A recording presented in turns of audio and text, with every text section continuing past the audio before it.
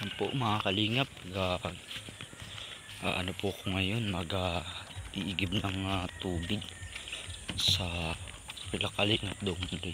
I-update ko kayo sa aking update ko po kayo doon sa baboy ni Coco Marty. Okay lang naman mag-vlog dito no mga kalingap. Would shout out po sa ating lahat. Yan. So, sa palang araw po sa ating lahat. Migamigilaw shout out po Kuya Bal Santos Matubang. Yan, Kalingap Prab.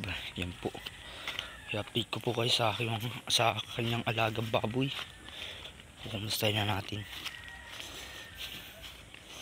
Yan o.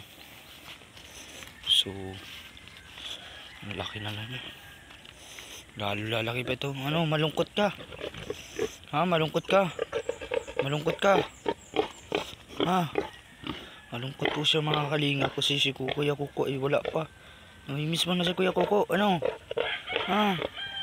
Namimiss mo na. Hmm. Namimiss mo na. Dintoy. Ay grabe. Oh, oh hala.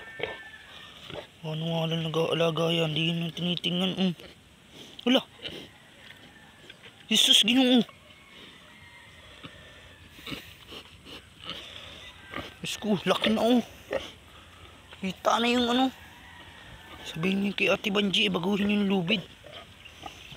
Po mga kalinga po. So, ano oh, hmm, malaki na po. Mamamutol yung ulo ni Intoy, ay ni, ano, kalingap biik. Hmm. Putol na po mga kalingap oh. Hmm. nangyari sa iyo patay luwag-luwagan. Makakalingap i-request ko kay ate Banjing baguhin yung lubid kasi luwag-luwagan lang niya. At uh, hikit na naman. Kailangan luwagan yan. Ay makakatay na po oh. hmm.